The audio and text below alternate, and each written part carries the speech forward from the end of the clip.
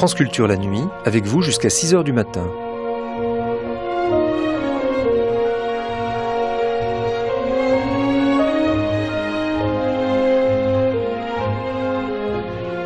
France Culture la nuit, un patrimoine radiophonique.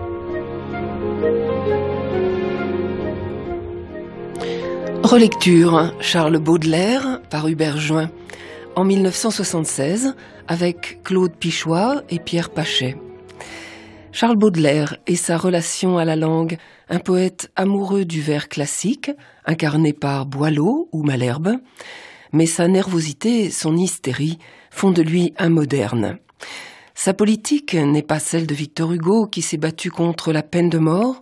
Pour Charles Baudelaire, la peine de mort concerne les individus qui vont au bout de la solitude moderne, le dandy, le poète, le criminel.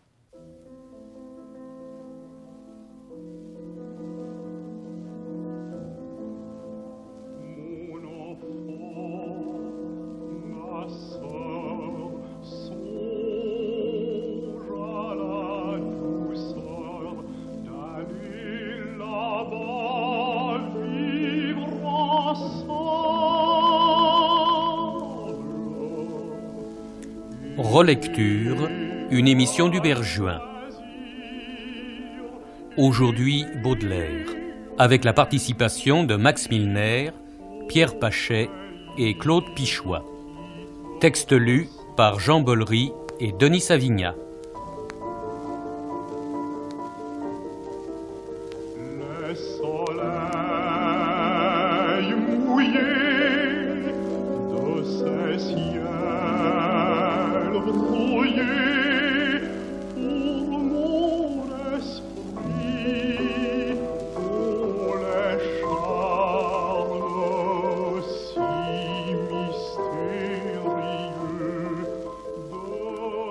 La sottise, l'erreur, le péché, la lésine occupent nos esprits et travaillent nos corps, et nous alimentons nos aimables remords comme les mendiants nourrissent leur vermine. Nos péchés sont têtus, nos repentirs sont lâches. Nous nous faisons payer grassement nos aveux et nous rentrons gaiement dans le chemin bourbeux, croyant, par de vils pleurs, laver toutes nos tâches. Sur l'oreiller du mal, c'est Satan trismégiste qui berce longuement notre esprit enchanté, et le riche métal de notre volonté est tout vaporisé par ce savant chimiste. C'est le diable qui tient les fils qui nous remuent. Aux objets répugnants nous trouvons des appâts. Chaque jour, vers l'enfer, nous descendons d'un pas, sans horreur, à travers des ténèbres qui puent. Ainsi qu'un débauché pauvre qui baise et mange le sein martyrisé d'une antique catin, nous volons au passage un plaisir clandestin que nous pressons bien fort, comme une vieille orange. Serrés, fourmillant comme un million d'helminthes, dans nos cerveaux ribote un peuple de démons, et quand nous respirons, la mort dans nos poumons descend, fleuve invisible, avec de sourdes plaintes. Si le viol, le poison, le poignard, l'incendie n'ont pas encore brodé de leurs plaisants dessins le canevas banal de nos piteux destins, c'est que notre âme, hélas, n'est pas assez hardie. Mais parmi les chacals, les panthères, les lys, les singes, les scorpions, les vautours, les serpents, les monstres glapissants, hurlants, grognants, rampants, dans la ménagerie infâme de nos vices, il en est un plus laid, plus méchant, plus immonde. Quoiqu'il ne pousse ni grand geste, ni grand cri, il ferait volontiers de la terre un débris et dans un bâillement avalerait le monde. C'est l'ennui. L'œil chargé d'un pleur involontaire, il rêve d'échafaud en fumant son houka. Tu le connais, lecteur, ce monstre délicat. Hypocrite lecteur, mon semblable, mon frère. Ce texte inaugure ce qu'on peut considérer comme le recueil de poèmes principal de tout le XIXe siècle, j'entends Les Fleurs du Mal de Charles Baudelaire. Relecture est aujourd'hui consacrée à Charles Baudelaire car, grâce à Claude Pichois, nous avons pour la première fois des œuvres complètes de Baudelaire satisfaisantes. et ceci en deux volumes de la bibliothèque de la Pléiade. Et à ces deux volumes, je m'empresse d'ajouter qu'il faut joindre deux autres volumes de cette même bibliothèque de la Pléiade, dus également à Claude Pichois, les lettres de Baudelaire. C'est-à-dire qu'en quatre volumes, nous avons les œuvres et la correspondance. J'ajoute, euh, pour euh, nos auditeurs qui, mon Dieu, ne pourraient pas se procurer la Pléiade, euh, qu'il existe dans les principales collections au format de poche des œuvres de Baudelaire. Il y a, évidemment Les Fleurs du Mal, les petits poèmes en prose dans la collection Poésie Gallimard, Les Paradis artificiels en folio. Il y a également ces mêmes titres dans Garnier Flammarion, à quoi il faut ajouter d'ailleurs l'art romantique qui a paru chez Garnier euh, Flammarion et qui évidemment regroupe les textes critiques de Baudelaire. Des thèses paraissent, des études baudelairiennes dont euh, Claude Pichois s'occupe également paraissent régulièrement ou irrégulièrement à Neuchâtel, aux éditions de la Baconnière, et tout ceci crée bien entendu non pas une actualité de Baudelaire, mais une permanence de Baudelaire, parce que ce livre dont j'ai parlé, enfin Les Fleurs du Mal, puisque lorsqu'on dit Baudelaire, on pense Fleurs du Mal, mais il n'y a pas que les Fleurs du Mal, eh bien, euh, on continue à en être, euh, je dirais, tributaire, que l'on soit créateur ou que l'on soit lecteur. Mais Claude Pichois, lorsqu'on travaille avec des professionnels, je veux dire avec des comédiens, avec des acteurs, sur les poèmes de Baudelaire, je ne parle pas des proses, des poèmes de Baudelaire, on s'aperçoit que, mon Dieu, le vers baudelairien est un vers classique. C'est le vers de Boileau. C'est un vers qui ne présente formellement, structurellement, euh, rien de nouveau. Et cependant, et cependant, il dégage une musique que je préfère appeler pour ma part poétique, une poétique tout à fait neuve d'abord dans l'histoire des lettres, et euh, dont la nouveauté persiste. Comment pourrait-on parler de cette poétique? Confirmer d'abord le premier point, vous n'auriez pas choqué Baudelaire en le rapprochant de Boileau. Euh, lui-même, Baudelaire se rapproche une fois de Malherbe, il euh, se compare à ces natures très sensibles qui sont émues par la beauté des Alexandrins de Malherbe. Et je crois que la meilleure définition qui a été donnée de Baudelaire a été donnée par quelqu'un qui voulait lui faire de la peine, Alcide Dussolier, qui l'a traité de boileau hystérique. Et je crois que c'est précisément cet alliage qui constitue l'originalité de Baudelaire. Il y a Boileau, il y a donc ce vers carré, il y a ces césures assez souvent euh, régulières, et il y a euh, l'hystérie qui est au fond la rhétorique profonde de l'œuvre de Baudelaire. À quoi est-elle due euh, cette pensée musicale et poétique à la fois? Il est très difficile de le dire. Il y a euh, chez Baudelaire une conscience très moderne de la vie, et c'est cette conscience qui transparaît à travers cette structure classique. Conscience de l'homme euh, qui a les nerfs exacerbés du, du Parisien, qui découvre sa ville, et qui la découvre sous toutes sortes d'aspects, l'ancien Paris. C'est peut-être le premier poète urbain. C'est le premier grand poète de, Paris, malgré tel exemple de Vigny que vous me citeriez. Le premier grand poète de Paris, et non seulement parce que il a en effet dans le signe euh, montré la transformation de Paris, le Paris ancien, le Paris nouveau, mais aussi parce qu'il a la sensibilité d'un Parisien. Et lorsque Verlaine écrit son premier article sur Baudelaire, Baudelaire est encore vivant, il insiste sur la nervosité, sur l'aspect nerf, n'est-ce pas, de la poésie de, de Baudelaire. Et je crois que c'est l'un des éléments, c'est le premier que je vois à cette originalité de Baudelaire. Mais il vient à l'esprit immédiatement, euh, Claude Pichois, les fameuses correspondances. Oui, euh, ceci est quand même très sensible. C'est vrai qu'on peut trouver, par exemple, dans Victor Hugo, euh, quelque chose qui n'appartient pas au même règne des correspondances. Il y, a des correspondances chez Hugo, c'est indéniable, mais qui reposent plutôt sur une succession d'antithèses. Oui. Alors que chez Baudelaire, cette correspondance est presque une dérive, c'est-à-dire que l'on passe effectivement du parfum au son, euh, de la vision à la non-vision, je, dirais, enfin, à une sorte de présence, d'affleurement, d'absolu. Et cette notion de correspondance, l'analogie universelle, comme il dit euh, lui-même, est quand même aussi partie intégrante de sa poétique. La nature est un temple où de vivants piliers laissent parfois sortir de confuses paroles.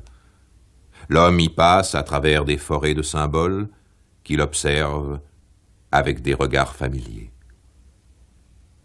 Comme de longs échos qui de loin se confondent dans une ténébreuse et profonde unité, vaste comme la nuit et comme la clarté, les parfums, les couleurs et les sons se répondent.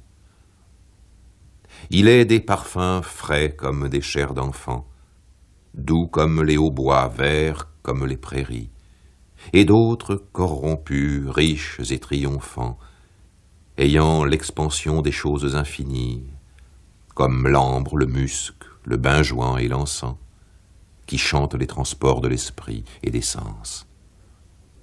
Il y a une dimension métaphysique. Et à mon avis, je ne vois guère de poésie qui n'ait pas de dimension métaphysique. Et c'est cette métaphysique qui transparaît, mais qui n'est pas un credo, n'est-ce pas? C'est simplement un besoin d'infini. C'est euh, à la fois une nostalgie et un élan. C'est d'un seul mot allemand. Enfin, c'est la fameuse Sehnsucht des romantiques allemands.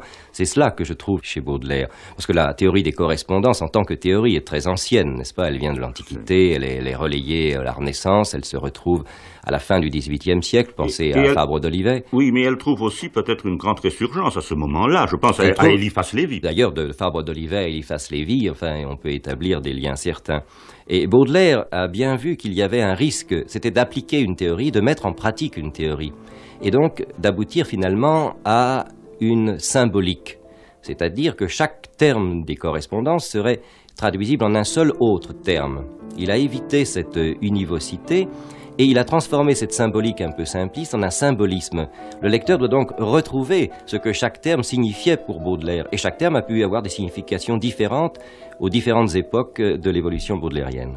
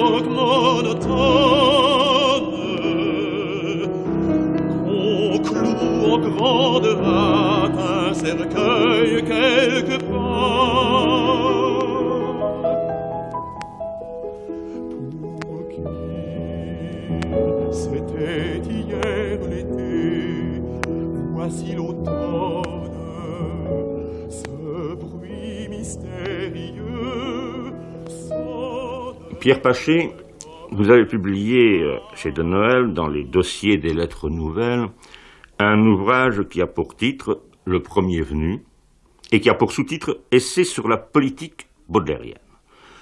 Alors, premièrement, est-ce qu'on peut réellement parler d'une politique euh, baudelairienne? Je pense qu'au sens euh, propre, non.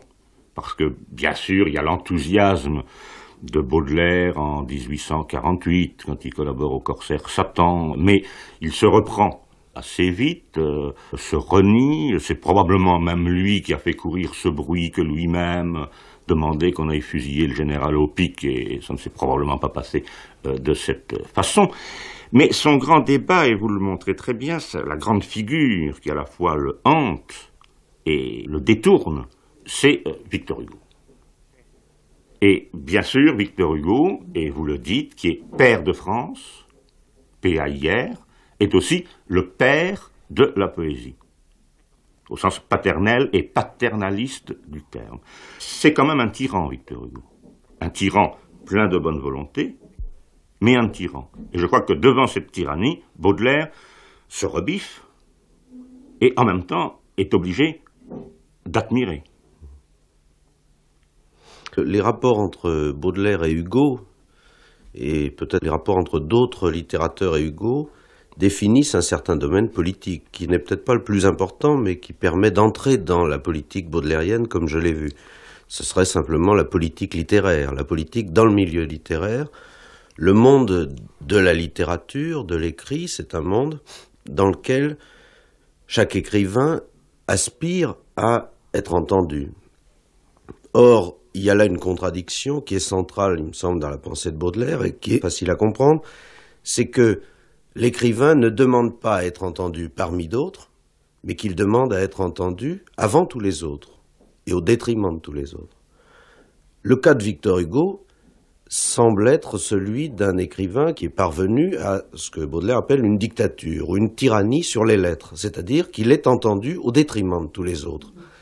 Et même plus que cela, on peut dire que Victor Hugo est entendu en incluant tous les autres, et que d'une certaine façon, Baudelaire ne se sent pas exclu par Victor Hugo, mais inclus par lui, c'est-à-dire, et je pense qu'on peut en faire la remarque, même sans l'aide de Baudelaire, il y a du Baudelaire chez Victor Hugo, et que d'une certaine façon, Victor Hugo contraint les autres au silence, non pas en les faisant taire, mais en parlant à leur place.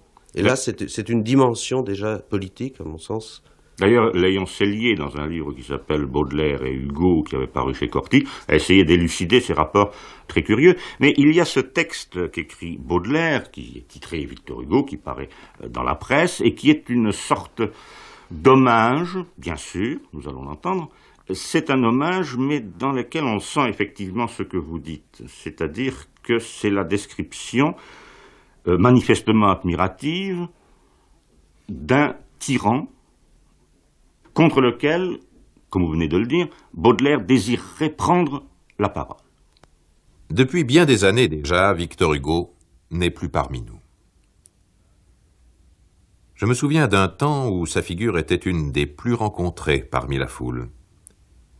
Et bien des fois, je me suis demandé, en le voyant si souvent apparaître dans la turbulence des fêtes ou dans le silence des lieux solitaires, comment il pouvait concilier les nécessités de son travail assidu avec ce goût sublime mais dangereux des promenades et des rêveries. Cette apparente contradiction est évidemment le résultat d'une existence bien réglée et d'une forte constitution spirituelle qui lui permet de travailler en marchant, ou plutôt de ne pouvoir marcher qu'en travaillant. Sans cesse, en tout lieu, sous la lumière du soleil, dans les flots de la foule, dans les sanctuaires de l'art, le long des bibliothèques poudreuses exposées au vent, Victor Hugo, pensif et calme, avait l'air de dire à la nature extérieure Entre bien dans mes yeux pour que je me souvienne de toi. À l'époque dont je parle, époque où il exerçait une vraie dictature dans les choses littéraires, je le rencontrai quelquefois dans la compagnie d'Édouard Ourliac, par qui je connus aussi euh, Petrus Borel et Gérard de Nerval.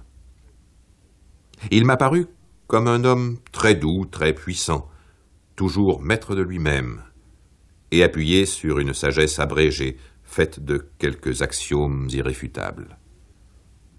Il y a ce terme de dictature.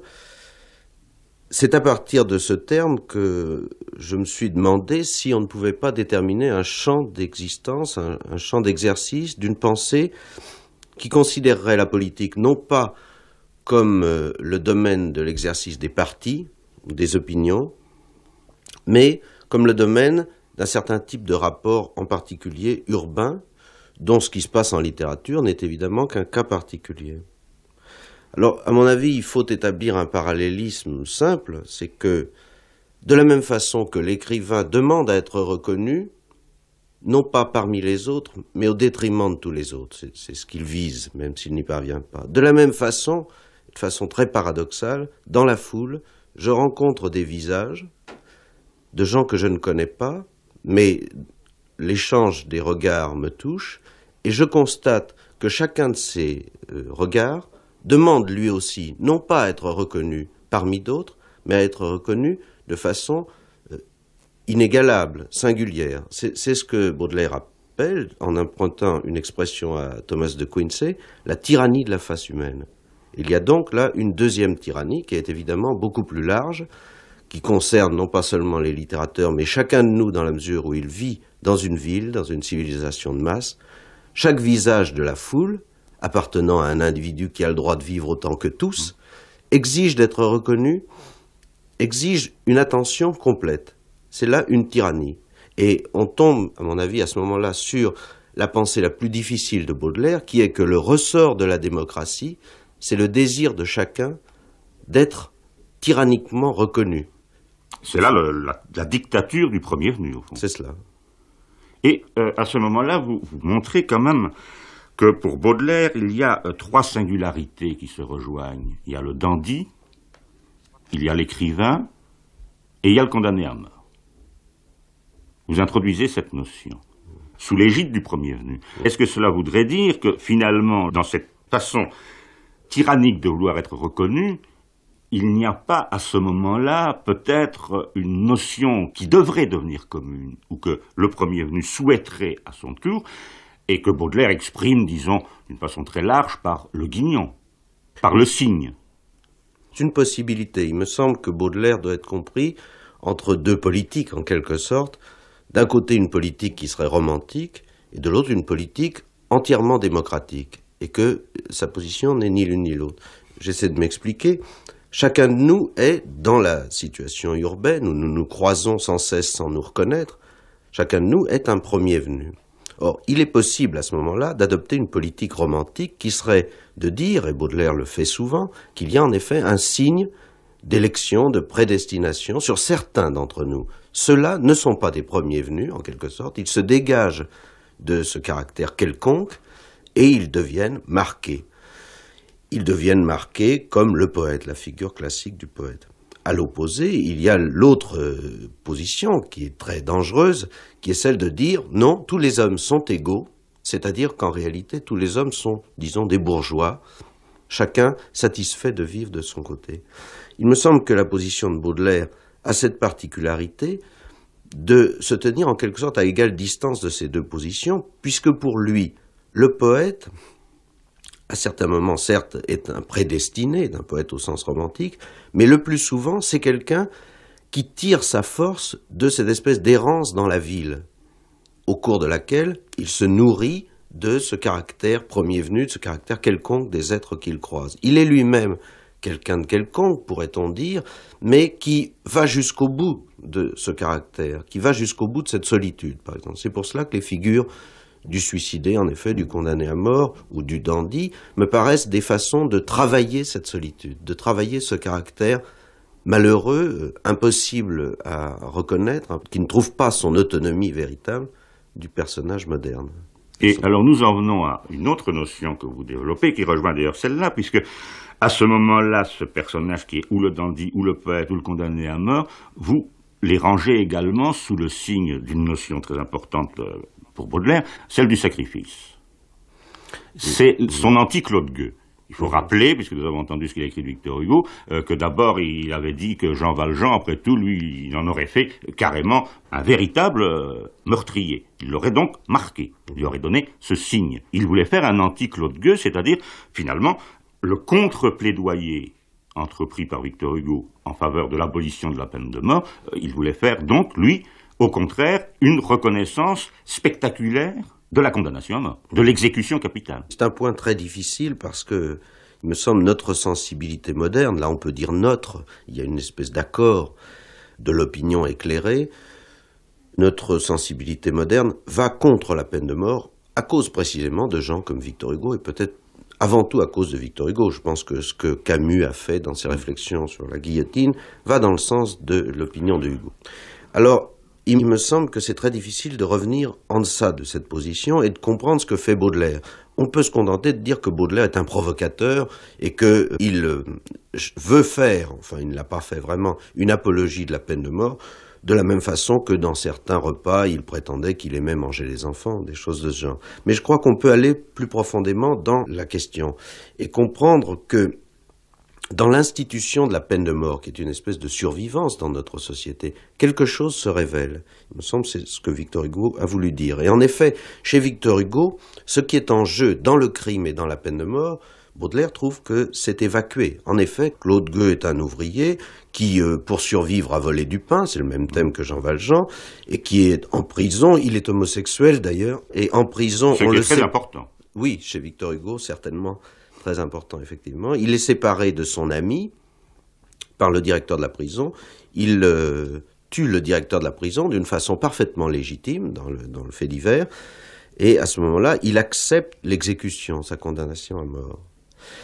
L'envers de Claude Gueux, ce serait un Claude Gueux, en fait, qui est déjà contenu dans le thème de Hugo. Et c'est là que Baudelaire montre à quel point il est, en effet, inclus dans Hugo. Ce serait un personnage qui ferait tout cela non pas pour se venger ou par souci de justice, mais par désir d'aller vers la mort. Alors, qu'est-ce que ça signifie que quelqu'un désire être condamné à mort? Je crois que c'est là que l'intuition de Baudelaire est, tout à fait euh, extraordinaire, fulgurante. C'est que aucun homme ne mérite la mort, et que celui qui réclame la mort ne la réclame pas pour sa vilenie, mais il la réclame en quelque sorte pour euh, accomplir ce qui est le, fond de l'institution, qui est de choisir un homme arbitrairement. Il y a un thème évidemment très chrétien euh, là derrière, euh, que, que, Baudelaire doit à son éducation, à Joseph de Maistre, mais je crois aussi à sa réflexion. Et dans votre livre, Le premier venu, Pierre Paché, vous valorisez un des petits poèmes en prose, enfin du Spleen de Paris, La corde. Pourquoi? Ce texte euh, du Spleen de Paris, j'y ai été attiré euh, d'abord par la dédicace à Édouard Manet, et de Manet, puisque ce conte, cette nouvelle, raconte un fait divers qui est arrivé effectivement au peintre Manet, en regardant la biographie de Manet par Georges Bataille, je me suis aperçu que ce thème avait aussi intéressé Georges Bataille. Il, m'a semblé que dans ce conte, il y avait une présentation tout à fait suspecte, ou on pourrait dire sournoise, du problème de la culpabilité humaine. Euh, il y a un, mort à la fin de cette histoire, il y a une description un peu dostoïevskienne, il me semble, incertaine, euh, angoissante, de la façon dont tout l'entourage de cet enfant a été impliqué là-dedans. Il me semble qu'on peut dire qu'on a assisté là, sans s'en rendre compte, à un sacrifice mais que ce sacrifice, évidemment, n'a pas été spectaculaire comme les sacrifices euh, classiques ou archaïques. Il n'y a pas eu un rituel sur lequel tout le monde s'entend. Il y a quelque chose qui est le fait divers, c'est-à-dire la forme moderne du sacrifice, quelque chose dans lequel apparemment il y a une causalité tout à fait particulière. Il y a l'exercice des passions, on tue parce qu'on aime ou parce qu'on n'aime pas ou qu'on n'est pas aimé. Mais en réalité, il y a un accord collectif pour que la culpabilité soit prise en charge par quelqu'un, et c'est le cas ici. Il y avait toutes sortes de personnages qui auraient pu être coupables, le peintre, la mère, le père, les voisins, mais il y en a un qui a été choisi comme victime, qui était effectivement coupable, lui aussi, il était gourmand, et qui, lui, est désigné comme victime, accepte d'être la victime, et réconcilie en quelque sorte tout son entourage autour de lui sur ce thème. Ma profession de peintre me pousse à regarder attentivement les visages, les physionomies qui s'offrent dans ma route. Et vous savez quelle jouissance nous tirons de cette faculté qui rend à nos yeux la vie plus vivante et plus significative que pour les autres hommes. Dans le quartier reculé que j'habite, et où de vastes espaces gazonnés séparent encore les bâtiments, j'observais souvent un enfant dont la physionomie ardente et espiègle, plus que toutes les autres, me séduisit tout d'abord. Il a posé plus d'une fois pour moi, et je l'ai transformé tantôt en petit bohémien, tantôt en ange, tantôt en amour mythologique. Je lui ai fait porter le violon du vagabond, la couronne d'épines et les clous de la passion et la torche des rosses. Je pris enfin à toute la drôlerie de ce gamin un plaisir si vif que je priai un jour ses parents, de pauvres gens, de vouloir bien me le céder, promettant de bien l'habiller, de lui donner quelque argent et de ne pas lui imposer d'autre peine que de nettoyer mes pinceaux et de faire mes commissions. Cet enfant, débarbouillé, devint charmant. et la vie qu'il menait chez moi lui semblait un paradis comparativement à celle qu'il aurait subie dans le taudis paternel. Seulement, je dois dire que ce petit bonhomme m'étonna quelquefois par des crises singulières de tristesse précoce, et qu'il manifesta bientôt un goût immodéré pour le sucre et les liqueurs, si bien qu'un jour je constatai que, malgré mes nombreux avertissements, il avait encore commis un nouveau larcin de ce genre, je le menaçai de le renvoyer à ses parents. Puis je sortis, et mes affaires me retinrent assez longtemps hors de chez moi. Quelles ne furent pas mon horreur et mon étonnement quand, rentrant à la maison, le premier objet qui frappa mes regards fut mon petit bonhomme, l'espiègle compagnon de ma vie, pendu au panneau de cette armoire. Ses pieds touchaient presque le plancher. Une chaise qu'il avait sans doute repoussée du pied était renversée à côté de lui. Sa tête était penchée convulsivement sur une épaule, son visage boursouflé, et ses yeux, tout grands ouverts avec une fixité effrayante, me causèrent d'abord l'illusion de la vie. Le dépendre n'était pas une besogne aussi facile que vous le pouvez croire. Il était déjà fort roide, et j'avais une répugnance inexplicable à le faire brusquement tomber sur le sol. Il fallait le soutenir tout entier avec un bras et avec la main de l'autre bras couper la corde. Mais cela fait, tout n'était pas fini.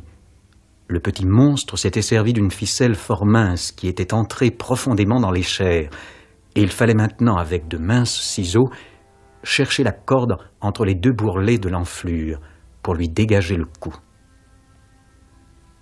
J'ai négligé de vous dire que j'avais vivement appelé au secours, mais tous mes voisins avaient refusé de me venir en aide, fidèles en cela aux habitudes de l'homme civilisé qui ne veut jamais, je ne sais pourquoi, se mêler des affaires d'un pendu. Enfin vint un médecin qui déclara que l'enfant était mort depuis plusieurs heures. Quand plus tard, nous eûmes à le déshabiller pour l'ensevelissement, la rigidité cadavérique était telle que, désespérant de fléchir les membres, nous dûmes lacérer et couper les vêtements pour les lui enlever. Le commissaire, à qui, naturellement, je dus déclarer l'accident, me regarda de travers et me dit Voilà qui est louche mû sans doute par un désir invétéré et une habitude d'État de faire peur, à tout hasard, aux innocents comme aux coupables. Restait une tâche suprême à accomplir, dont la seule pensée me causait une angoisse terrible. Il fallait avertir les parents. Mes pieds refusaient de m'y conduire. Enfin, j'eus ce courage. Mais à mon grand étonnement, la mère fut impassible. Pas une larme ne suinta du coin de son œil. J'attribuai cette étrangeté à l'horreur même qu'elle devait éprouver, et je me souvins de la sentence connue Les douleurs les plus terribles sont les douleurs muettes. Quant au père, il se contenta de dire d'un air moitié abruti, moitié rêveur Après tout cela vaut peut-être mieux ainsi, il aurait toujours mal fini. Cependant, le corps était étendu sur mon divan, et assisté d'une servante, je m'occupais des derniers préparatifs quand la mère entra dans mon atelier. Elle voulait, disait-elle, voir le cadavre de son fils. Je ne pouvais pas en vérité l'empêcher de s'enivrer de son malheur et lui refuser cette suprême et sombre consolation. Ensuite, elle me pria de lui montrer l'endroit où son petit s'était pendu. Oh non, madame, lui répondis-je cela vous ferait mal. Et comme involontairement mes yeux se tournaient vers la funèbre armoire, je m'aperçus avec un dégoût mêlé d'horreur et de colère que le clou était resté fiché dans la paroi avec un long bout de corde qui traînait encore. Je m'élançai vivement pour arracher ces derniers vestiges du malheur, et comme j'allais les lancer au dehors par la fenêtre ouverte, la pauvre femme saisit mon bras et me dit d'une voix irrésistible Oh, monsieur, laissez-moi cela. Je vous en prie. Je vous en supplie. Son désespoir l'avait sans doute, me parut-il, tellement affolé qu'elle s'éprenait de tendresse maintenant pour ce qui avait servi d'instrument à la mort de son fils, et le voulait garder comme une horrible et chère relique. Et elle s'empara du clou et de la ficelle. Enfin, enfin, tout était accompli.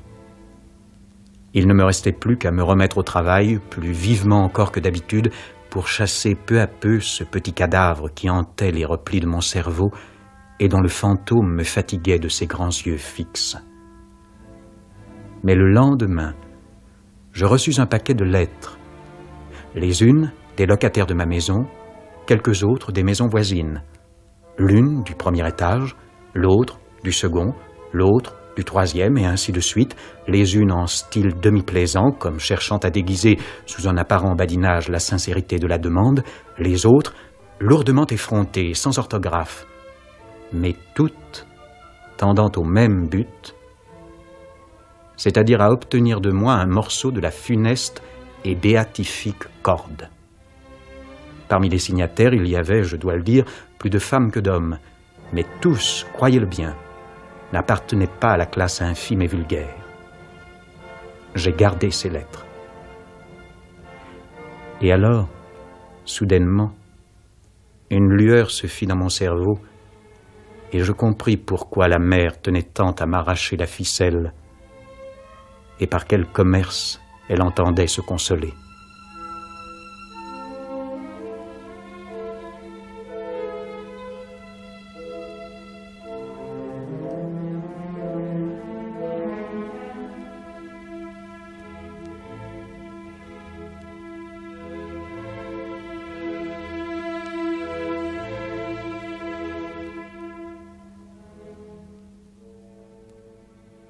Claude Pichois, tout le monde sait également que, mon Dieu, les fleurs du mal ont été condamnées, ont fait l'objet d'un procès sous le Second Empire, euh, comme Madame Bovary d'ailleurs, mais manifestement pour d'autres raisons. Et en plus, ça s'est terminé par les fameuses pièces retranchées. Donc euh, on peut vraiment dire que ce que l'on reprochait à Baudelaire, c'était son érotisme. Or, il me semble que là, les juges du Second Empire ont commis une erreur fondamentale. Ils avaient probablement raison de condamner Baudelaire à leur point de vue, mais plutôt que de le condamner pour son érotisme, ils auraient dû, à mes yeux, le condamner pour son érotique. Ce qui est tout à fait différent. L'érotique euh, désigne au fond l'amour dans sa plus grande dimension, sans que rien soit sacrifié, sans que rien soit retranché, et les magistrats du Second Empire étaient bien incapables en effet de comprendre cette érotique qui a été pratiquée par les plus grands romantiques allemands. Euh, qui fondent aussi les, plus beaux poèmes d'amour de, Goethe, qui ne sont pas des poèmes pornographiques. Bien sûr, immédiatement, pour rentrer dans l'érotique de Baudelaire, un poème comme Sept non satiata est peut-être euh, assez exemplaire. Oui, et exemplaire aussi alors euh, de ce que nous disions tout à l'heure, à savoir de la forme classique et d'une pensée qui est extrêmement diverse et qui ondoie au fond comme le serpent qui figure dans un autre poème, le suivant, avec ses vêtements ondoyants et sacrés, etc. non satiata se réfère euh, à un point de l'histoire romaine, à Messaline, bien entendu, mais tout le poème peut être lu comme un poème érotique au sens français du terme, tout en pouvant être lu au sens érotique euh, allemand, romantique que nous avons défini. Bizarre déité, brune comme les nuits, au parfum mélangé de musc et de havane, œuvre de quel Cobie, le Faust de la savane, sorcière au flanc d'ébène, enfant des noirs minuits. Je préfère, ô Constance, à l'opium, aux nuits, l'élixir de ta bouche où l'amour se pavane, quand vers toi mes désirs partent en caravane, tes yeux sont la citerne où boivent mes ennuis. Par ces deux grands yeux noirs, soupiraux de ton âme, ô démon sans pitié, Verse-moi moins de flammes, je ne suis pas le Styx pour t'embrasser neuf fois, hélas, et je ne puis, mégère libertine, pour briser ton courage et te mettre aux abois, dans l'enfer de ton lit, devenir Proserpine. Je crois que c'est un des poèmes les plus riches de Baudelaire, et que c'est innocent à première lecture, cet innocent sonnet est riche euh, d'harmonique et il est extrêmement moderne. Et je pense que c'est là un des aspects de Baudelaire. On ne peut pas vivre dans la grande métropole qu'est Paris à l'époque. Paris est plus une métropole que Londres. Il n'y a pas d'autre ville qui existe alors au monde qui soit aussi métropolitaine que Paris. Paris euh, dégage un certain érotisme. Et Baudelaire arrive à transformer cet érotisme en une érotique. C'est, me semble-t-il, la leçon de cette non satiata. Mais à le lire et à l'expliquer dans ses détails, j'ai essayé de le faire dans les commentaires de la bibliothèque de la Pléiade, il y a un moment où on est presque obligé de s'arrêter. parce que Baudelaire va très loin et je ne crois même pas qu'il faille exclure un certain jeu de mots sur les rimes. Il ne faut pas oublier que Baudelaire, étant parisien, a le sens d'une ironie même corrosive. Si nous poursuivons la lecture des Fleurs du Mal, avant de passer quand même aux petits poèmes en prose, où là aussi cet érotique va se manifester, bien entendu, puisque après tout, nous pouvons dire aussi que l'érotique de Baudelaire n'est pas séparable de la poétique de Baudelaire. Et tel poème comme Les bijoux euh, prouve, je crois, qu'il y a rapport là aussi entre cette nudité et ces bijoux, c'est-à-dire entre le charnel et le métallique. Là peut-être se situe également un des aspects importants de l'érotique baudelairienne. Oui, oui, certainement. La très chère était nue, et connaissant mon cœur, elle n'avait gardé que ses bijoux sonores dont le riche attira et lui donnait l'air vainqueur qu'ont dans leurs jours heureux les esclaves des morts. Quand il jette en dansant son bruit vif et moqueur, ce monde rayonnant de métal et de pierre me ravit en extase, et j'aime à la fureur les choses où le son se mêle à la lumière. Elle était donc couchée et se laissait aimer, et du haut du divan elle souriait d'aise à mon amour profond et doux comme la mer, qui vers elle montait comme vers sa falaise. Les yeux fixés sur moi comme un tigre dompté, d'un air vague et rêveur elle essayait des poses, et la candeur unie à la lubricité donnait un charme neuf à ces métamorphoses. Et son bras, et sa jambe, et sa cuisse, et ses reins, polis comme de l'huile, onduleux comme un cygne, passaient devant mes yeux clairvoyants et sereins, et son ventre, et ses seins, ces grappes de ma vigne s'avançaient plus câlins que les anges du mal pour troubler le repos où mon âme était mise et pour la déranger du rocher de cristal où calme et solitaire, elle s'était assise. Je croyais voir unies par un nouveau dessin les hanches de l'Antiope au buste d'un imberbe, tant sa taille faisait ressortir son bassin. Sur ce teint fauve et brun, le phare était superbe et la lampe s'étant résignée à mourir. Comme le foyer seul illuminait la chambre, chaque fois qu'il poussait un flamboyant soupir, il inondait de sang cette peau couleur d'ambre. Baudelaire ne peut pas imaginer la femme nu et naturel. Il y a dans le peintre de la vie moderne, qui est un essai parmi les plus brillants, qui vont le plus loin de Baudelaire, il y a euh, l'éloge du maquillage, maquillage, bijoux, mais il y a de plus chez Baudelaire la tentation de se fondre dans un monde minéral, dans un monde métallique. Et la ville qu'il imagine dans certains poèmes des Fleurs du Mal est une ville où la vie, au fond, en tant que nature, disparaîtrait pour faire place à la beauté de l'or, à la beauté euh, de toutes les pierres précieuses. Oui, ou dans tel petit poème en prose, euh, l'admiration pour Lisbonne où les habitants arrachent les armes. C'est ça, oui, oui. Oui, ça c'est l'aspect, comment dirais-je, un peu paradoxal de Baudelaire. Je pense que Baudelaire ne s'est pas toujours promené dans les campagnes, dans les champs et dans les forêts en méprisant ce qu'il voyait. Mais il a besoin, lui parisien, il a besoin de sentir la ville comme euh, une structure de pierre et il n'imagine pas la femme dans la ville autrement que vêtue de bijoux, de bijoux seulement. Mais ces bijoux laisseraient peut-être aussi planer enfin un curieux rapport, une curieuse relation entre Baudelaire et la femme. Oui, au fond, il voudrait que la femme fût de marbre, elle aussi. Ça. Il, a un désir de, la frigidité. Et il a peur de la nature, il a peur de tout ce que la femme représente de naturel. Il craint le spasme. Il craint le spasme, pour tout dire. Et il est là, au fond, très fidèle à la ligne du platonisme et du pétrarchisme, car euh, jucher la femme sur un piédestal, pour l'adorer, c'est déjà en faire une statue. Je dis en faire une statue. Je lui retire sa qualité d'être humain pour en faire un objet. Il y a donc euh, ce qu'on peut reprocher, si vous voulez, du point de vue du féminisme actuel. Il y a, chez Baudelaire, mais pas toujours, il y a des exceptions merveilleuses comme le balcon, il y a chez Baudelaire un antiféministe qui n'adore la femme qu'à condition qu'elle refuse d'être femme.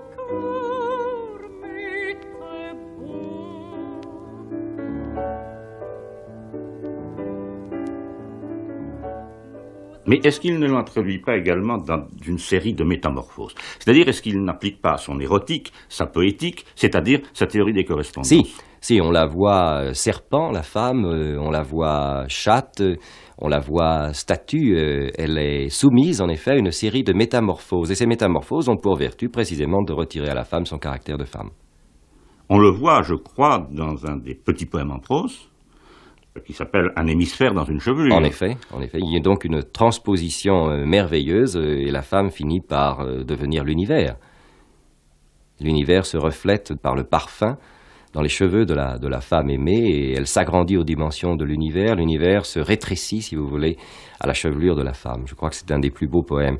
Et c'est merveilleux de voir Baudelaire traitant le même thème dans le parfum, dans la chevelure, dans les fleurs du mal, et dans un hémisphère, dans une chevelure, et chaque fois en enrichissant le thème, à mon avis. Laisse-moi respirer longtemps, longtemps, l'odeur de tes cheveux, y plonger tout mon visage, comme un homme altéré dans l'eau d'une source, et les agiter avec ma main, comme un mouchoir odorant, pour secouer des souvenirs dans l'air.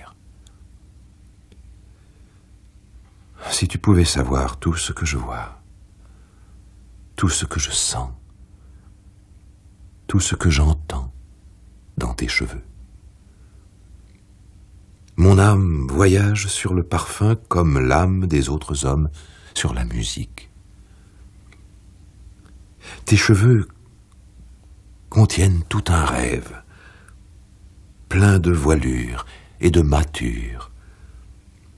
Ils contiennent de grandes mers, dont les moussons me portent vers de charmants climats, où l'espace est plus bleu et plus profond, où l'atmosphère est parfumée par les fruits, par les feuilles et par la peau humaine. Dans l'océan de ta chevelure, j'entrevois un port, fourmillant de chants mélancoliques, d'hommes vigoureux de toute nation, et de navires de toutes formes, découpant leurs architectures fines et compliquées sur un ciel immense, où se prélasse l'éternelle chaleur. Dans les caresses de ta chevelure, je retrouve les langueurs des longues heures passées sur un divan dans la chambre d'un beau navire, bercé par le roulis imperceptible du port, entre les pots de fleurs et les gargoulettes rafraîchissantes. Dans l'ardent foyer de ta chevelure, je respire l'odeur du tabac, mêlée à l'opium et au sucre. Dans la nuit de ta chevelure, je vois resplendir l'infini de l'azur tropical. Sur les rivages duvetés de ta chevelure, je m'enivre des odeurs combinées du goudron, du musc et de l'huile de coco. Laisse-moi mordre longtemps tes tresses lourdes et noires. Quand je mordis tes cheveux élastiques et rebelles, il me semble que je mange des souvenirs. Du temps que la nature, en sa verve puissante, concevait chaque jour des enfants monstrueux, j'eusse aimé vivre auprès d'une jeune géante, comme au pied d'une reine, un chat voluptueux.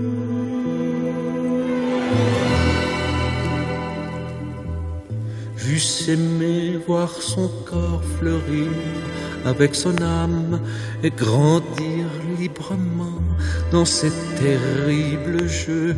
Devinait si son cœur couvre une sombre flamme aux humides brouillards qui nagent dans ses yeux.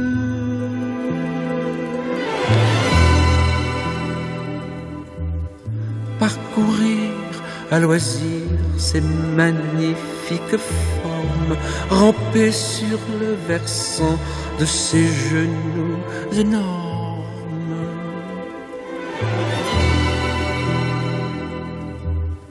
Et parfois en été, quand les soleils malsains lassent la font s'étendre à travers la campagne, dormir nonchalamment à l'ombre de ses seins, comme un hameau paisible au pied d'une montagne.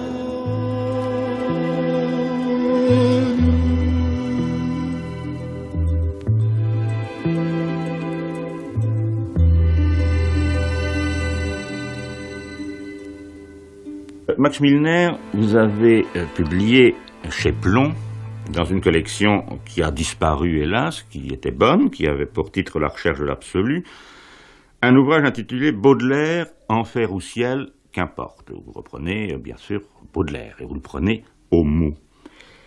Comment pourrait-on parler de cette recherche de l'absolu euh, chez Baudelaire? C'est un, une expression qui a quelques résonances euh, balsaciennes, n'est-ce pas?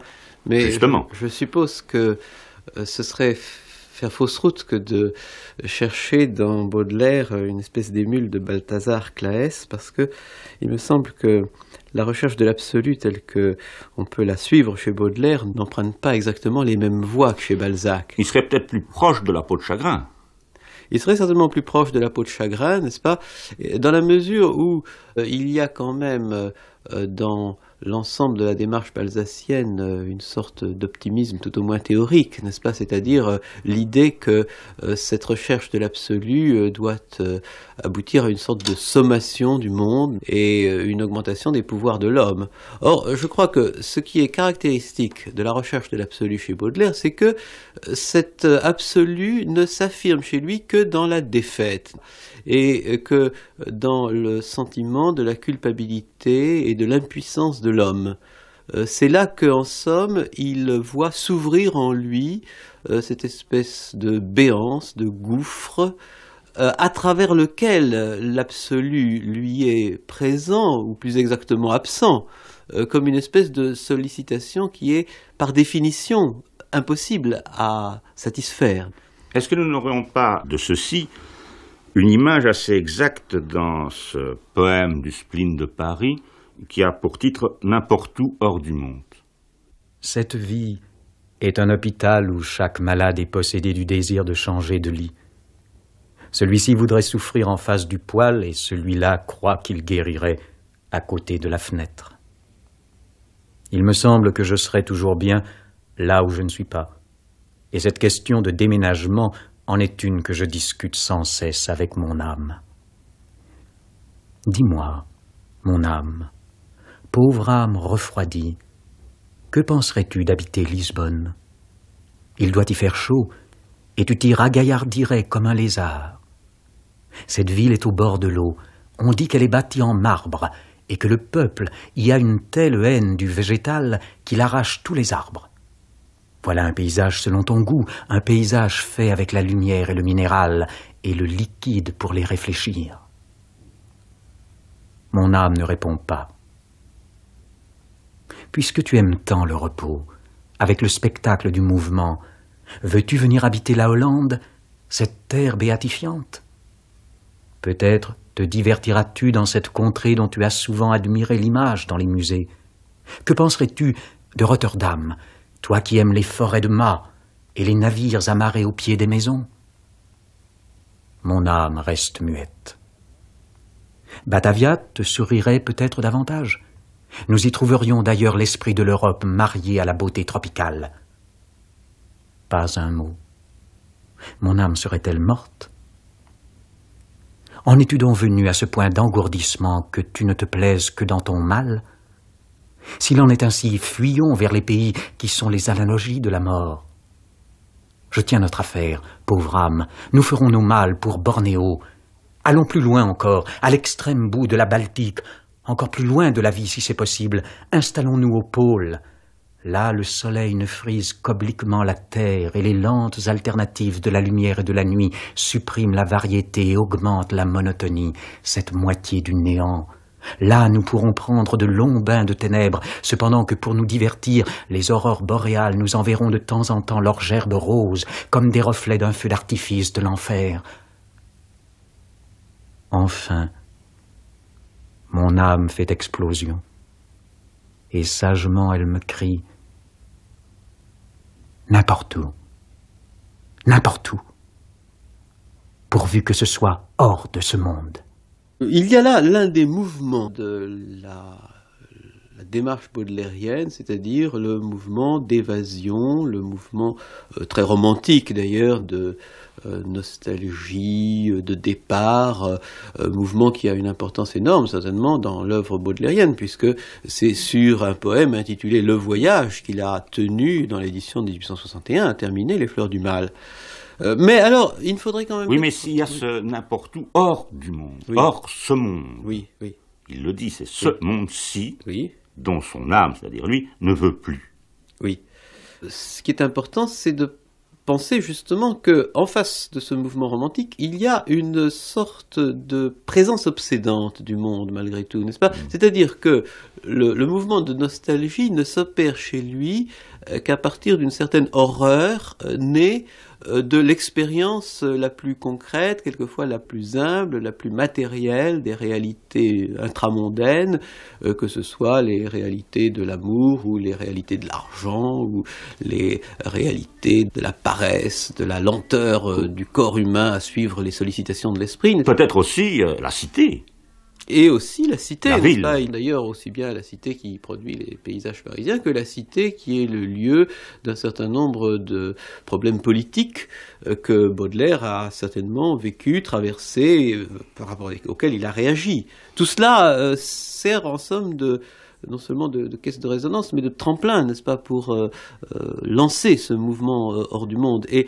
si le tremplin n'est pas là, le mouvement n'est pas lancé. C'est pourquoi, quelquefois, on se met, prend à rêver, n'est-ce pas, qu'est-ce qui serait arrivé si Baudelaire avait rencontré dans sa vie les facilités qu'il n'a pas eues, si on lui avait pas donné de conseil judiciaire, si au moment où ça allait très mal, il avait pu réaliser son rêve d'aller en fleurs auprès de sa mère, n'est-ce pas, etc. moi, moi je, je, crois que d'abord, s'il ne l'a pas fait, c'est que réellement il croyait, enfin, il sentait très bien qu'il ne pouvait pas le faire parce que ça, tarissait absolument euh, cette espèce de conflictualité essentielle à son art, n'est-ce pas? Ça lui aurait été clôture totale. C'est ça, oui. Mais euh, ailleurs, dans un poème des fleurs du mal, et c'est assez rare chez lui, je crois, cette note, et elle est quand même très importante, il parle de l'enfance, le vert paradis des amours enfantines. Dis-moi, ton cœur parfois s'envole-t-il, Agathe, loin du noir océan de l'immonde cité, vers un autre océan où la splendeur éclate, bleu, clair, profond, ainsi que la virginité? Dis-moi, ton cœur parfois s'envole-t-il, Agathe? La mer, la vaste mer console nos labeurs. Quel démon a doté la mer rauque chanteuse qu'accompagne l'immense orgue des vents grondeurs de cette fonction sublime de berceuse? La mer, la vaste mer console nos labeurs.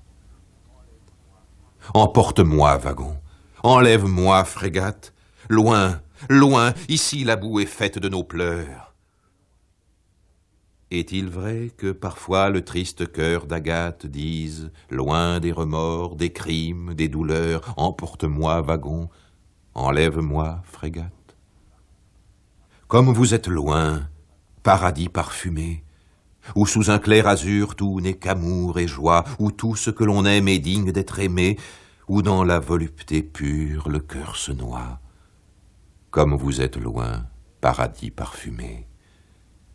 Mais le vert paradis des amours enfantines, les courses, les chansons, les baisers, les bouquets, les violons vibrant derrière les collines avec les brocs de vin le soir dans les bosquets, mais le vert paradis des amours enfantines, l'innocent paradis plein de plaisirs furtifs, est-il déjà plus loin que l'Inde et que la Chine? Peut-on le rappeler avec des cris plaintifs et l'animer encore d'une voix argentine? L'innocent paradis plein de plaisirs furtifs. Peut-être effectivement voit-il dans l'enfance une créativité dont lui, homme adulte et chassé du paradis par le général Opic, n'est plus le maître. Il souffre là d'une sorte de frigidité créatrice. Oui, et en même temps, il euh, aspire à retrouver, bien entendu par d'autres moyens, euh, cette espèce d'innocence artistique et en même temps de pouvoir de sentir euh, au-delà des apparences, n'est-ce pas, dont il pense que l'enfance est douée. Euh, il dit d'ailleurs très nettement, encore dans cette partie des paradis artificiels, n'est-ce pas, qui est consacrée à De Quincey, l'enfant voit tout en nouveauté. L'enfant est toujours ivre, dit-il aussi, n'est-ce pas? Et il y a évidemment un rapport entre l'ivresse de l'enfance et l'ivresse des paradis artificiels, avec cette différence que l'ivresse de l'enfance est une ivresse naturelle et non coupable, alors que l'ivresse des paradis artificiels est une ivresse euh, qui est justement artificielle et qui par conséquent intervient à un moment où les conditions de l'existence, c'est un terme auquel Baudelaire tient beaucoup, euh, sont euh, distribuées, sont fixées d'une certaine manière, et où c'est folie de vouloir les transgresser, n'est-ce pas? Mais il y a chez Baudelaire toujours aussi une tentation vers la transgression. Oui. C'est un mouvement baudelairien, c'est naturel, enfin, chez lui. Et comme vous, euh, Max Milner, vous avez consacré votre, votre thèse, enfin une thèse très importante qui a paru en deux volumes chez José Corti, Au diable de la littérature française. Il y a cet aspect chez Baudelaire, d'ailleurs une veine que malheureusement d'autres poètes très mineurs ont mal exploitée, je pense à Rollina, euh, je pense au poète belge Yvan Gilquin, euh, mais chez Baudelaire, euh, ce Satan n'est pas un Satan de pacotille. Alors on peut peut-être aussi, avant d'en parler plus avant, de ce Satan-là, se demander si Edgar Poe, n'a pas servi ici de médiateur. Parce qu'au fond, le premier ouvrage publié par Baudelaire, c'est une traduction. Hmm? C'est la première traduction qu'il publie d'Edgar Poe. Oui. Et est-ce qu'on peut voir une influence, un fonctionnement même d'Edgar Poe dans cette genèse du mythe du Satan baudelairien? Oui, je crois que c'est très juste de commencer peut-être même par le besoin de la transgression euh, avant d'en venir à l'utilisation du mythe du personnage de Satan par Baudelaire, parce que je crois que le besoin de la transgression est en effet euh, beaucoup plus fondamental chez Baudelaire que la croyance très problématique d'ailleurs à une entité maléfique extérieure à l'homme. En tout cas, il l'a pensé comme entité, mais non pas du tout comme personnage de la théologie. Et je crois qu'il est très juste que Edgar Poe a joué euh, dans la prise de conscience de ce besoin de transgression un rôle euh, extrêmement important, n'est-ce pas? Non pas peut-être euh, un rôle déterminant dans le sens où il aurait appris quelque chose à Baudelaire, il a simplement permis, comme d'ailleurs il l'a dit, il s'est reconnu en Poe, n'est-ce pas? Alors il a appris, appris à Baudelaire à voir plus clair en lui-même.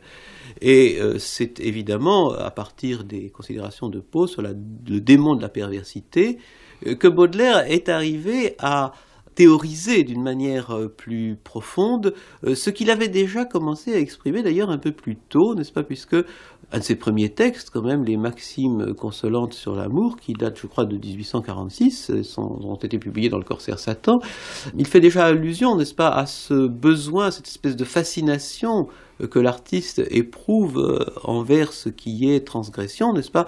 Et euh, cette espèce de vertige que l'on éprouve à unifier dans une même expérience euh, Hormuz et Harriman, n'est-ce pas? Il le dit d'une manière un petit peu ironique, évidemment, au sujet de la maîtresse dont il il est censé souffrir ou dont on risque souffrir, alors il faut souhaiter qu'elle soit aussi mauvaise que possible, n'est-ce pas? Parce que alors à ce moment-là, eh bien, il y a une sorte d'équilibre extraordinaire qui se réalise entre le bien et le mal, n'est-ce pas? Et on a un idéal qui est à la fois le, comble du bien et le comble du mal. C'est le, c'est le galant tireur dans le spleen de Paris. Comme la voiture traversait le bois, il la fit arrêter dans le voisinage d'un tir, disant qu'il lui serait agréable de tirer quelques balles pour tuer le temps. Tuer ce monstre-là, n'est-ce pas l'occupation la plus ordinaire et la plus légitime de chacun?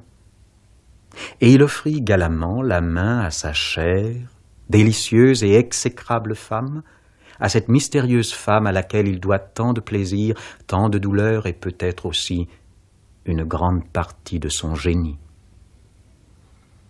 Plusieurs balles frappèrent loin du but proposé. L'une d'elles s'enfonça même dans le plafond.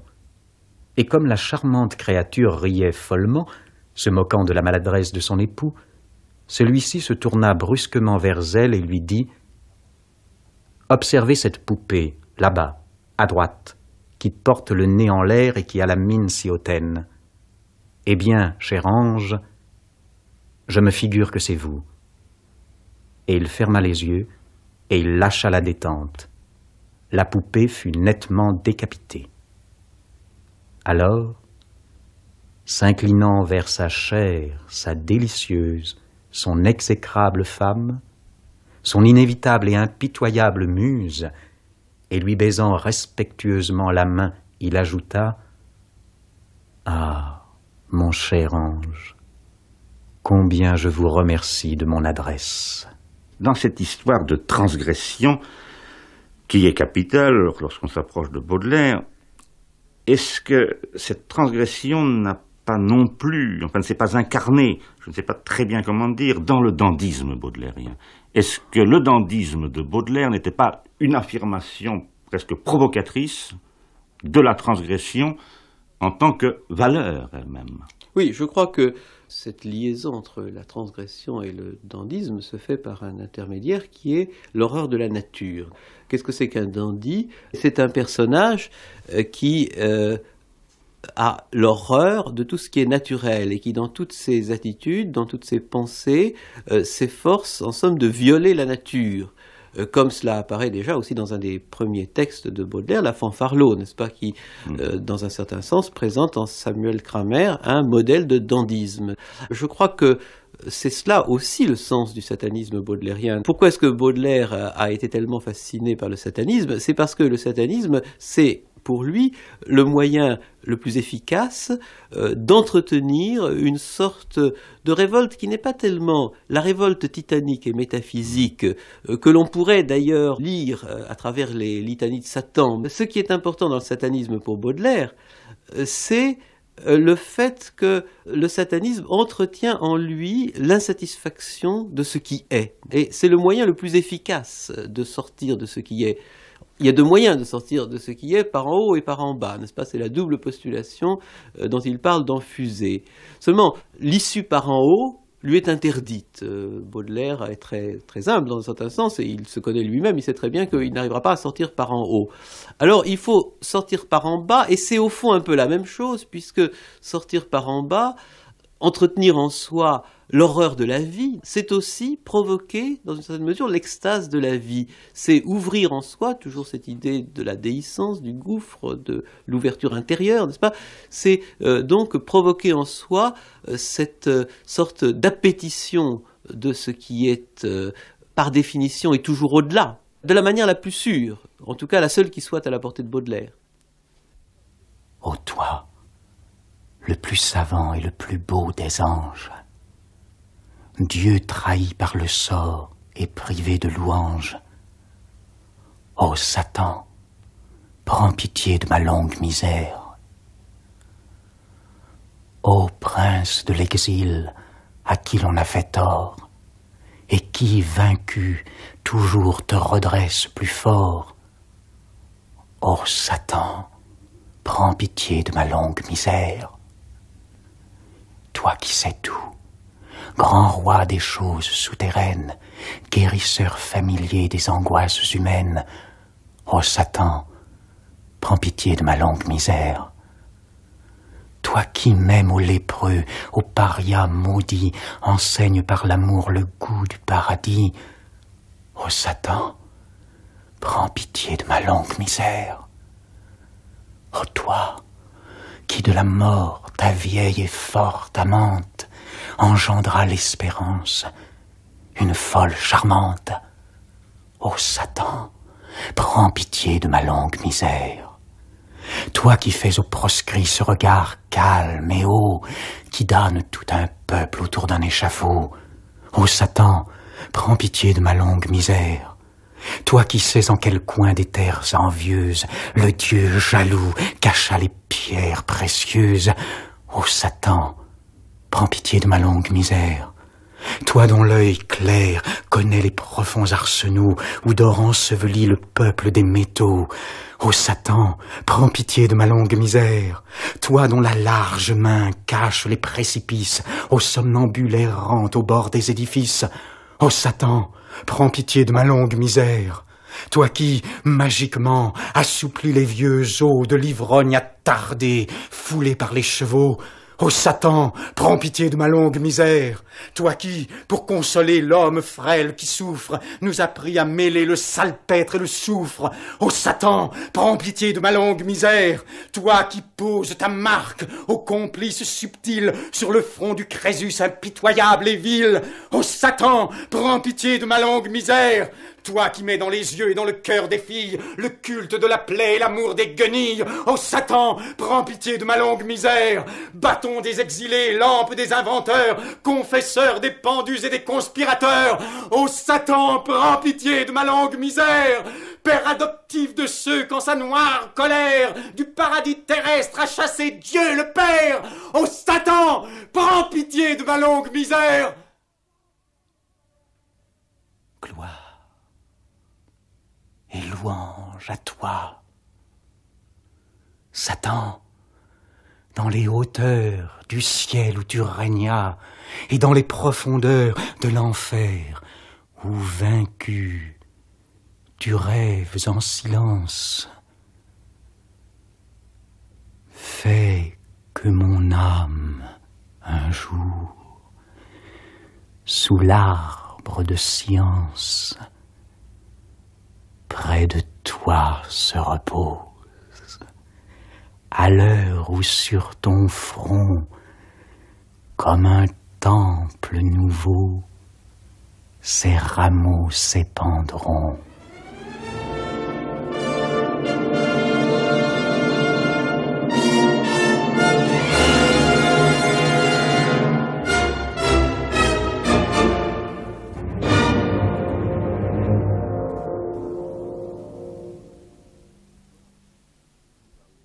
Claude Pichois, nous arrivons bientôt au terme de cette émission et nous n'avons pas parlé, ou très peu, de la prose de Baudelaire.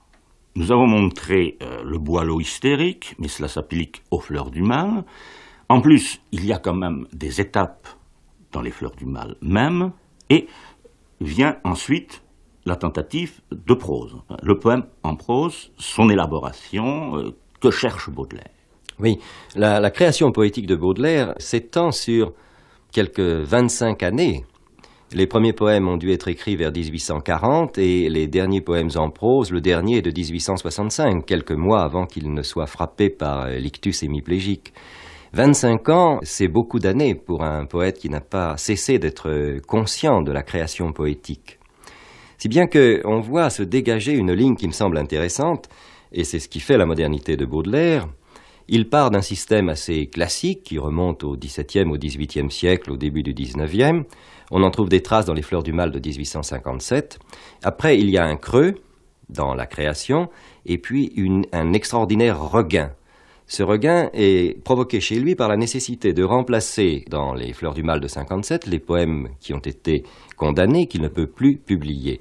Mais six poèmes ont été condamnés et c'est une vingtaine qu'il va écrire et parmi les plus beaux poèmes des Fleurs du Mal, l'obligeant ainsi à créer d'ailleurs une nouvelle euh, section, tableau parisien. Je pense aux cygnes, je pense aux sept vieillards, je pense aux petites vieilles. Et à propos des sept vieillards, Baudelaire écrit Je crois avoir franchi les limites assignées à la poésie. De fait, euh, les sept vieillards sont un poème de l'hallucination, d'où euh, l'on voit partir, je les vois comme une sorte de port, d'où va partir le bateau ivre de Rimbaud. La dernière strophe des sept vieillards, c'est le début du bateau ivre. Mais franchir les limites assignées à la poésie française, c'est difficile pour un homme qui est né en 1821 qui a appris Boileau par cœur et Racine et tant d'autres poètes classiques. Et qui a été hanté par Victor Hugo. Il y a donc un moment où il se trouve devant un mur. Et je crois pouvoir donner un, exemple de la difficulté rencontrée par Baudelaire à propos du poème, l'un des poèmes les plus connus, l'un de ceux qui se trouvaient dans nos anthologies. Hein. Il n'y avait pas cette Don Saciata dans nos anthologies, mais il y avait l'Albatros. Eh bien, l'Albatros a été composé sous une première forme de trois strophes, qui sont actuellement les strophes premières, deuxième et quatrième. En 1859, il envoie la première version à plusieurs amis et l'un d'eux lui répond C'est bien, mais il manque quelque chose, il manque une strophe. Et Baudelaire écrit On a la date, on en est certain, la troisième strophe Ce voyageur est laid comme il est gauche et veule. Lui n'a guère si beau qu'il est comique et laid. L'un agace son bec avec un brûle-gueule, l'autre mime en boitant l'infirme qui volait. Eh bien, le mur qui se dresse devant Baudelaire, c'est le mur qui se dresse devant le mot brûle-gueule. On ne peut pas, dans la poésie française, quand on est Baudelaire, aller plus loin que ce brûle-gueule. Il y a une recherche, non pas de la vulgarité, ni même du vulgarisme, mais il y a une recherche du réalisme. Le réalisme ne peut pas aller plus loin. Or, Baudelaire est au fond le poète réaliste de la poésie française du XIXe siècle. Que faire quand on a ce goût du réalisme parisien de ce réalisme qui d'ailleurs s'allie fort bien à la vision du visionnaire, que faire? Eh bien, il faut abandonner l'alexandrin. Et c'est là que les poèmes en prose, qui n'ont pas le titre poèmes en prose, c'est une erreur. La correspondance prouve que le titre que Baudelaire voulait donner aux poèmes en prose, c'était le spleen de Paris. Quand on est Baudelaire, on ne choisit pas un titre aussi plat que Petits poèmes en prose. Il y avait Les fleurs du mal, Admirable pendant, le spleen de Paris. Le spleen de Paris, c'est le laboratoire où Baudelaire élabore la nouvelle poétique qui va être celle de Rimbaud, qui va être celle du Malarmé des divagations, qui va être euh, celle de Max Jacob et de bien d'autres. Donc la modernité de Baudelaire, qui est souvent reconnue aux poèmes en prose plutôt qu'aux fleurs du mal.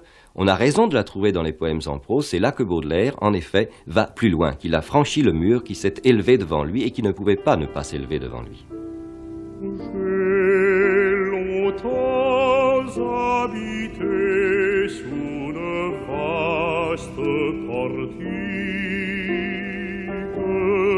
Que le soleil mare tenier.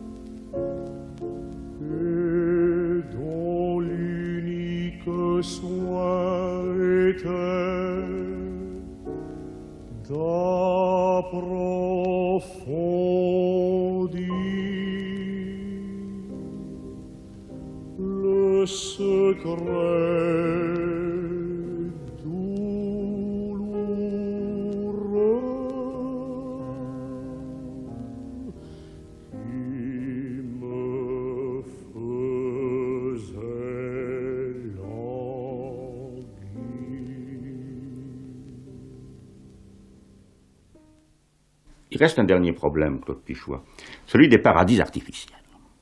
Vous en avez donné une édition dans Folio, et euh, vous avez très bien fait de faire précéder les paradis artificiels, c'est-à-dire le texte de Baudelaire, qui est lui-même suivi d'une tentative de traduction fragmentaire de Thomas de Quincey, les confessions d'un mangeur d'opium, vous avez fait précéder le tout des textes de Théophile Gautier qui rapportent, d'une façon beaucoup plus anecdotique, les expériences de l'hôtel Pimodan, et c'est-à-dire effectivement l'expérience de, ces jeunes gens qui ont tâté de la drogue. Mais Baudelaire va infiniment plus loin. Oui, vous avez raison. Euh, chez Gautier, cela reste anecdotique, c'est une curiosité, comme ce fut, paraît-il, une curiosité pour Balzac lorsqu'il vint à l'une de ses fantasias de hachiche à l'hôtel euh, Pimodan. Les hum, paradis artificiels euh, apparaissent au fond maintenant comme un poème, un grand poème écrit par euh, Baudelaire et dont la signification est assez difficile à déterminer. Euh, les paradis artificiels sont un livre profondément moral. Certainement. Baudelaire n'encourage personne à prendre des drogues. Mais Baudelaire, d'autre part, connaît ce que j'ai appelé dans un essai la difficulté créatrice. Il n'a pas la puissante vitalité de, Victor Hugo, il ne l'a pas sur le plan physiologique, il ne l'a pas sur le plan poétique. Alors la drogue, et je crois bien plus l'opium que le hashish, il a dû avoir une mauvaise expérience du hashish. Il parle du hashish d'après des témoignages d'autrui. Il parle de l'opium tout en adaptant sait, d'après sa propre expérience. L'opium l'aide à certains moments où il se sent retombé, l'aide à favoriser l'apparition, l'épiphanie de visions admirables. Mais il sait bien que s'il se laisse dominer par l'opium, ces visions resteront des visions, qu'elles ne deviendront jamais un poème. Si bien qu'il y a dans les paradis artificiels une leçon qui me semble extraordinairement euh, moderne. Nous avons besoin d'excitants, mais en même temps, nous ne devons pas nous soumettre à eux, nous inféoder. Nous devons rester maîtres de nous-mêmes. C'est une leçon de liberté que Baudelaire nous, nous donne. Il nous apprend à être libres, à utiliser les drogues, quelles qu'elles soient, et même les cigarettes que nous fumons actuellement. Il nous apprend à les utiliser et à nous en rendre maîtres. Donc, euh, Baudelaire est un poète profondément moderne et en même temps profondément moral. Il faudra bientôt le faire lire dans les classes à cet égard. Mais euh, également, vous avez eu raison de dire que les paradis artificiels nous devaient nous apparaître comme un poème, puisqu'on y retrouve trace de sa poétique.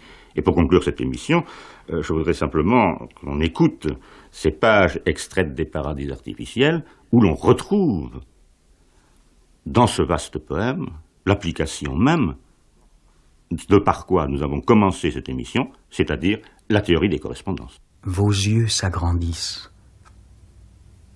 Ils sont comme tirés dans tous les sens par une extase implacable.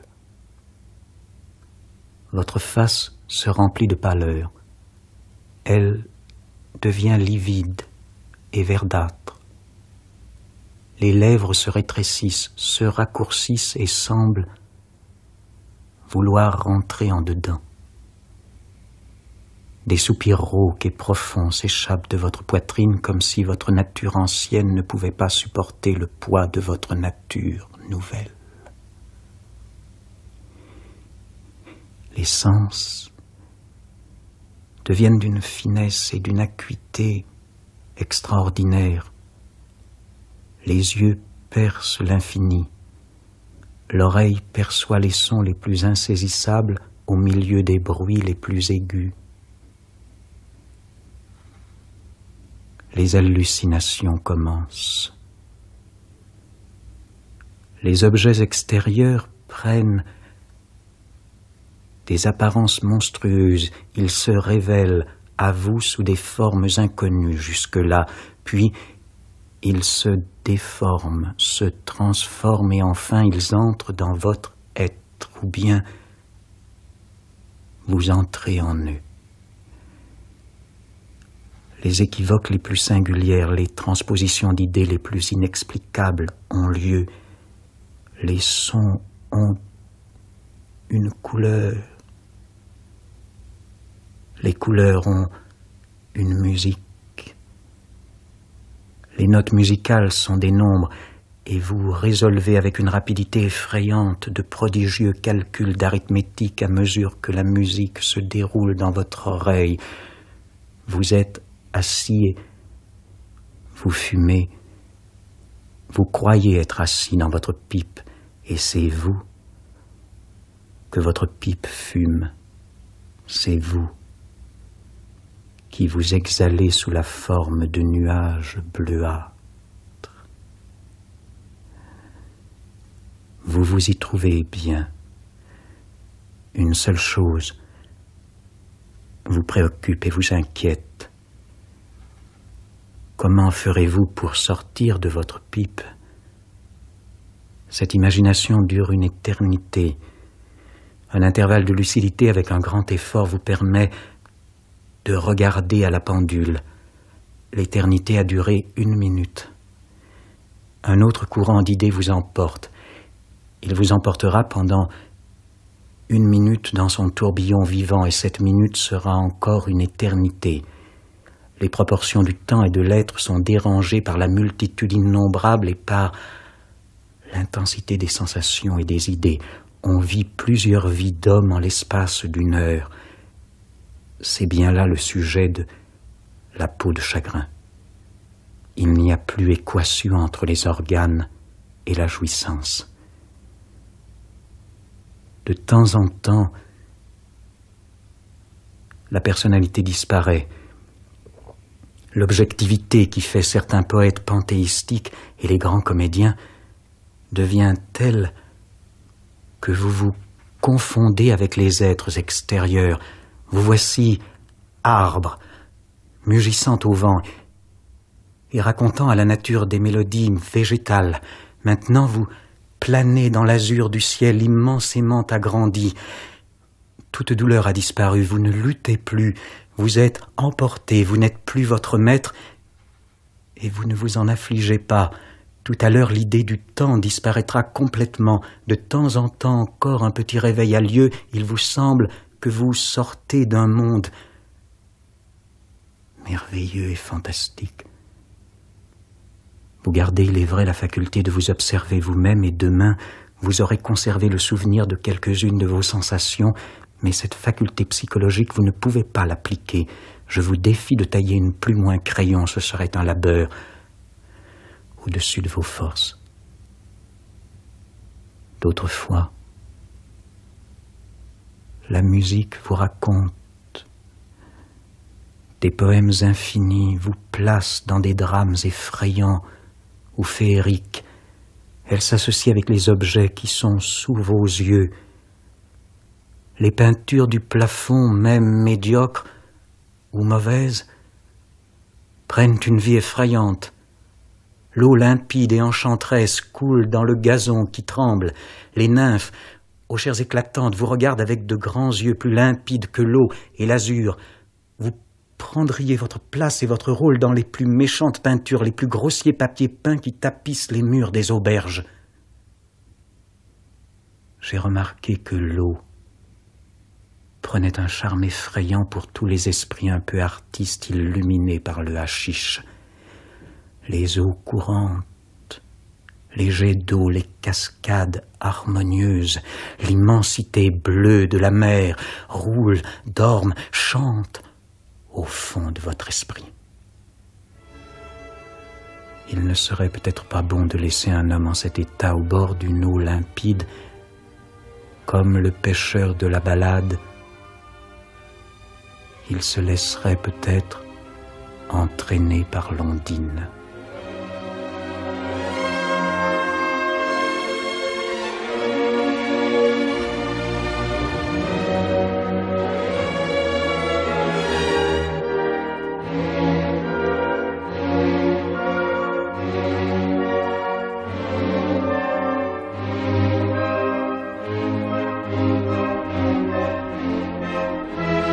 C'était Relecture, une émission du Berjuin.